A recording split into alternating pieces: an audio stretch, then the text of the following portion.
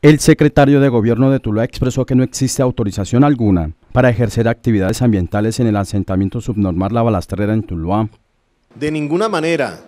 Lo que posiblemente puedan exhibir estas personas que ejercen esta actividad ilegal ante un operativo, una intervención por parte de la Fuerza Pública, de la Fiscalía General de la Nación,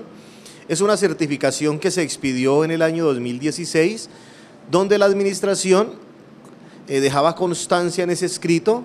que adelantaba un proceso de diálogo con las personas que ejercen la actividad de carboneros de manera ilegal en el municipio de Tuluá y que lo hacen en dos sectores, uno precisamente en el sector de la balastrera, donde hoy se hizo la intervención,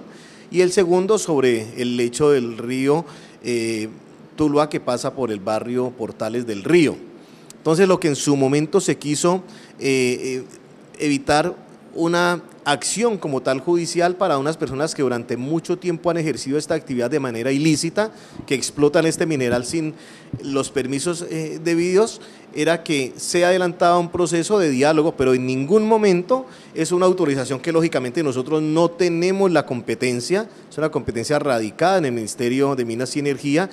Las acciones de la fuerza pública, según Carlos Octavio Quitián, están amparadas bajo la ley. Lo que hace la Policía Nacional y la Fiscalía General de la Nación, y en este caso con el apoyo del Ejército, es efectivamente acatar y cumplir lo que dispone nuestro ordenamiento jurídico, tal y como está establecido en la Constitución Nacional y en las leyes de Colombia. Entonces nosotros no podemos evitar ningún procedimiento que eh, se desarrolle desde estas instituciones y que se haga en cumplimiento de un ordenamiento legal. Lo que nosotros siempre hemos manifestado y ha sido una directriz y un apoyo incondicional de parte de la administración que orienta el señor alcalde, el doctor Gustavo Adolfo Vélez Román, es que siempre vamos a buscar mecanismos que en el futuro nos permitan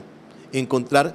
caminos para que estas personas puedan ejercer otra clase de actividades y no continuar desarrollando una actividad que es la explotación ilegal de una minería, de un mineral que hoy no tiene las autorizaciones por parte de los organismos que precisamente las tienen que otorgar. Se espera concertar con la comunidad para evitar nuevas acciones judiciales en mencionado sector.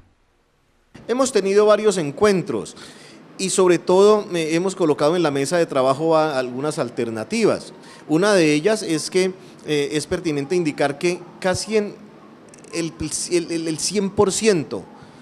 de las personas que ejercen la actividad de explotación de la, carbonería, de la carbonería en Tulba, prácticamente también ejercen la actividad de carretilleros. Hoy la administración municipal por lo menos adelanta un proceso de caracterización